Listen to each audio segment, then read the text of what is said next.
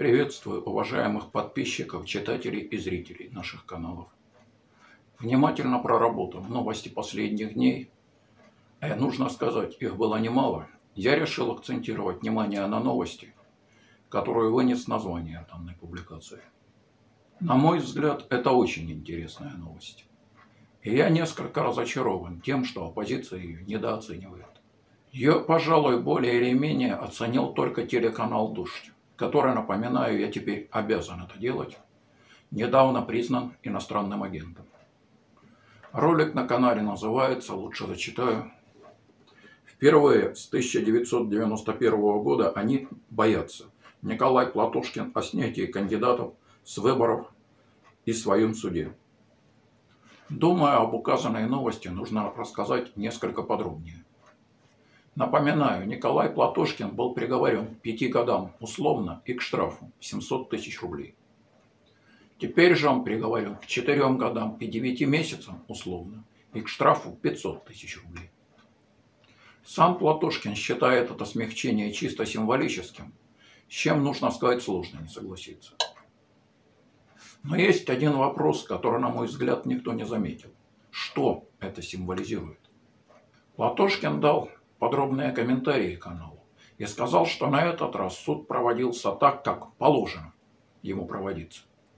Напоминаю, на первых заседаниях был полный беспредел, и достаточно сказать, что самого Николая Платошкина и его адвоката пришлось госпитализировать, пришлось вызвать им скорую помощь и госпитализировать. Сейчас же все, как сказал сам Платошкин, было чинно, пристойно. Но понятно, дальше он отметил, что по сути ничего не изменилось. Факты, доказывающие невиновность Платошкина, суд продолжил толковать как факты, доказывающие его виновность, что, конечно, полный абсурд. Вот как сказал об этом сам Платушкин.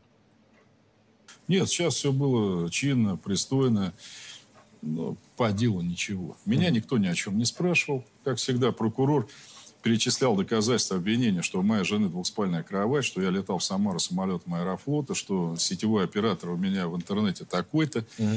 Там, ну, понимаете, и, и адвокат, и я, мы назвали это маразмом и абсурдом просто. Нужно также отметить, что кроме двух указанных символических смягчений, есть и два, на мой взгляд, не символических. Суд постановил вернуть деньги супруге Платошкина изъятые у нее во время обыска. Напоминаю, первый суд обратил эти деньги в доход государства. И суд снял с Платошкина подписку о невыезде, что теперь дает ему возможность ездить по стране и агитировать за КПРФ. Кроме того, он сейчас активно участвует в работе наблюдателей за выборами. А у КПРФ сейчас 200 тысяч наблюдателей. Что, понятно, способно очень сильно затруднить номенклатуру фальсификации. И понятно, что теперь ее возможности в этом плане тоже возрастут.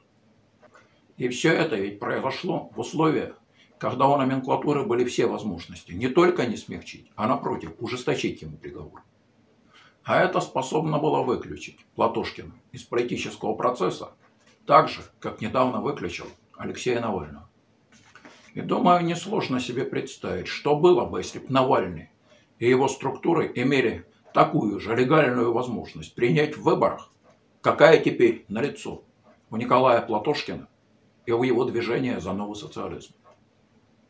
Прими Навальный и его структуры сейчас участие в выборах, полагаю, наблюдателей было бы не 200 тысяч, а их было бы куда больше миллиона.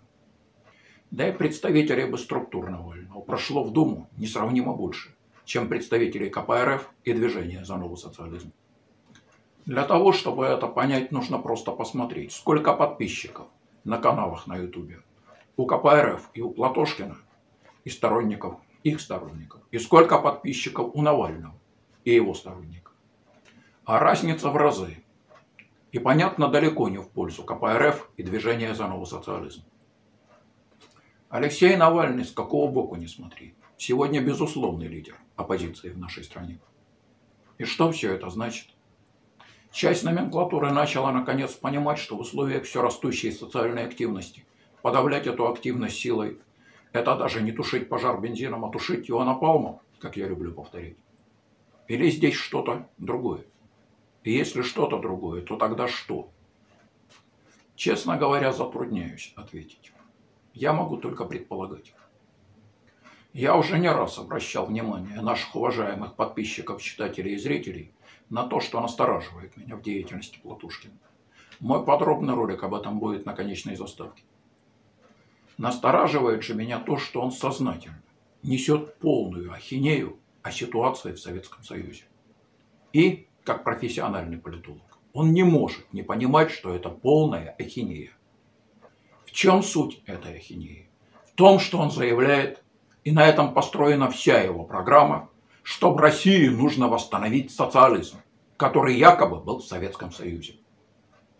Это при том, что любой политолог прекрасно знает, что в Советском Союзе и близко не было никакого социализма, а был политаризм или азиатский способ производства, АСП. Мой подробный ролик о том, что такое политаризм, тоже будет на конечной заставке. Это еще не все. Платошкин несет еще одну полную ахинею. А именно он везде заявляет, что в России сейчас капитализм. Хотя любой политолог прекрасно знает, что в России сейчас тоже политаризм.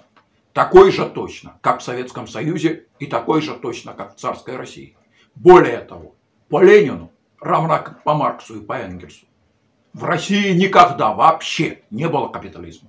В ней всегда был политаризм или азиатский способ производства.